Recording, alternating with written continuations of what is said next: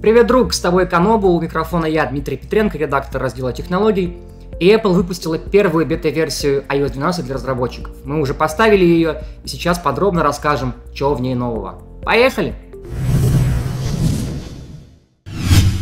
На WWDC Apple много говорили о том, что главный фокус iOS 12 сделан на производительности. Это неудивительно, учитывая, с какими проблемами вышла 11 iOS, когда пользователи массово жаловались на проблемы, баги неработающие экраны на холоде у iPhone 10 за 1000 долларов и прочее, прочее, прочее. Поэтому, по слухам, э, компания даже решила перенести большое обновление интерфейса системы на следующий год, чтобы в этом году мы наконец-то получили первую за несколько лет iOS, которая не лагает, не тормозит и не кряхтит. Мы поставили iOS 12 бету для разработчиков на два смартфона, на iPhone 10 и на iPhone SE. И, конечно, полностью судить о том, как это все будет работать в финальной версии, нельзя, но нужно сказать, что, пожалуй, из всех э, сборок, которые я пробовал в прошлые годы, 12 iOS самая стабильная, а, потому что она работает уже сейчас довольно быстро, а приложения, на мой взгляд, вообще запускаются быстрее, чем на iOS 11. Например, если мы откроем какой-нибудь App Store, который обычно запускается с дикими тормозами, то, как мы видим, он почти мгновенно открывается. Единственное, зависит от вашего интернета. Я сижу через э, мобильный интернет, поэтому, возможно, у вас дома все это будет еще быстрее. Связано это с тем, что, как говорит Крейг Федериги, теперь процессор при открытии приложения сразу отдает всю возможную мощность и только потом снижает свои частоты, поэтому вы получаете более быстрый запуск приложений, и при этом ваша батарейка не расходуется впустую.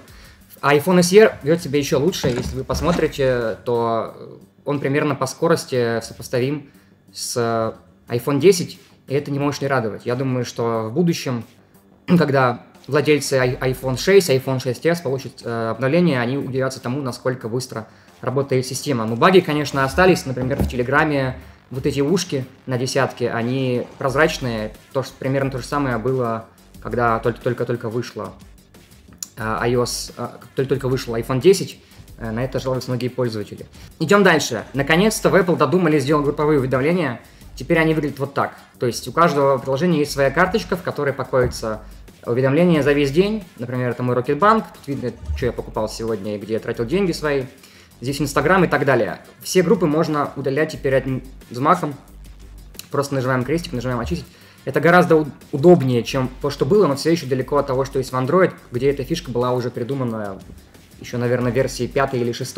Тем не менее, респект Apple за это. К тому же теперь уведомления можно настраивать. Если мы делаем Force Touch или долго нажимаем на уведомления на других смартфонах, можно настроить специальное меню способ доставки уведомлений. Например, без звука или вообще их отключить. Или перейти в настройки, где можно выбрать, как именно на экране будут показываться нотификации и все подстроить под себя. В принципе, давно этого ждали, поэтому клево, что теперь это есть. Еще одной важной фичей iOS 12 станет так называемое приложение э, Screen Time, то есть приложение, в котором вы можете посмотреть, как и сколько вы тратите время, пользуясь своим айфоном. К сожалению, в, в моей бете, которую я поставил себе на оба смартфона, оно не работает. Есть специальный пункт меню, который называется экранное имя. Я так понимаю, что это просто баг перевода, и потом все это исправят. И оно просто вылетает, если мы пробуем его запустить. Но в теории там вы можете увидеть сколько вы смотрите роликов на YouTube, э, и поставить себе таймер, например, не больше двух часов Инстаграма в день. Когда вы это время истратите, вам придет уведомление, которое скажет, что пора бы заняться чем-нибудь полезным уже.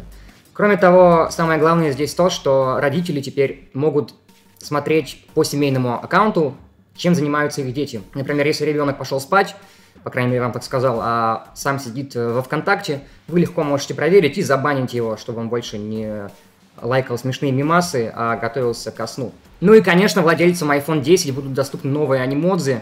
Я знаю, все это очень ждали, ведь э, все покупают iPhone 10 только ради анимодзи, чтобы почувствовать себя скелетом или какашкой. Поэтому теперь вы можете стать э, динозавром, э, коалой, привидением и, и какашкой. Все еще остается на, на самом деле самым приятным вариантом. Можно высовывать язык теперь. Спасибо Apple за это. Год ждали вообще, прям супер. Но Кроме того, Apple придумали еще и мимодзи, то есть вы можете создать себе аватара, который будет якобы выглядеть как вы. В специальном приложении можете сделать из себя чернокожего парня, краснокожего, и синекожего инопланетянина и прочее, прочее, прочее. Сделать себе модную прическу, как у LG, а, форму лица выбрать, глаз, бровей, в общем, настроить себя круче, чем Fallout 4. Я не знаю, зачем это нужно. Наверное, для тех, кто пользуется анимоди постоянно, это будет приятно.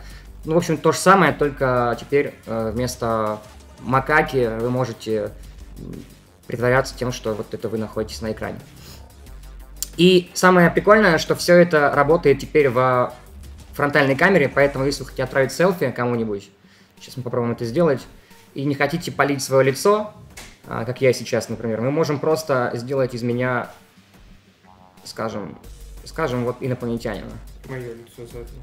А, и у меня остаются по-прежнему волосы, но вместо лица у меня вот эта вот симпатичная или даже, не знаю, страшная морда этого пришельца.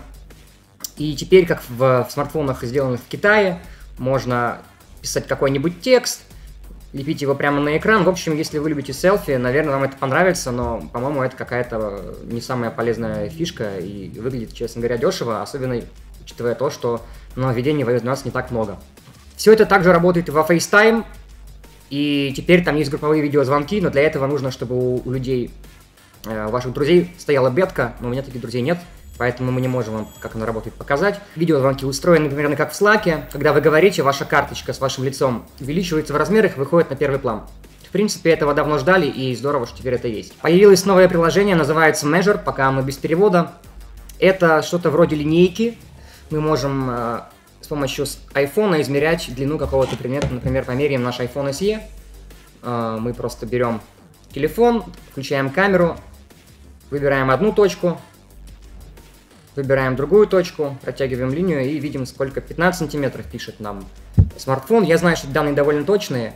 В принципе, я не знаю, зачем это нужно, но, наверное, если вам вдруг э, вы делаете ремонт, и у вас потерялась рулетка, линейка и, лазерная указка, наверное, это кому-то пригодится. У Siri теперь есть шорткаты. Это команды, которые вы можете вручную прописывать для голосового помощника, и они будут открывать определенные приложения, причем на тех, э, тех разделах, на тех страницах, которых вам нужно.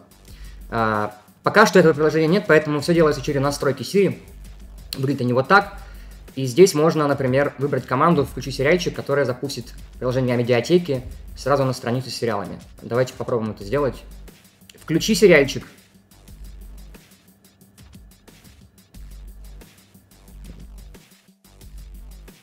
и видите, что запускается приложение сразу на нужной странице. В будущем у этой функции будет гораздо больше применений. Вы сможете, например, планируя отпуск, забиндить себе на шорткат, скажем, э, страницу с бронью вашего отеля, и потом одной фразой, например, «Где мой отель?», получить сразу же на экране всю нужную информацию. И, пожалуй, это все, что есть в бете iOS 12, если не читать еще переработанной клавиатуры, но это уже совсем мелочи. А полная версия появится с выходом новых смартфонов. По слухам, их будет сразу два, iPhone 10 и iPhone 10 Plus. И сразу же после старта продаж обновление будет доступно для многих владельцев iPhone. Ну вот и все. Если тебе понравилось это видео, поставь лайк, подпишись на наш канал, нажми на колокольчик. До новых встреч!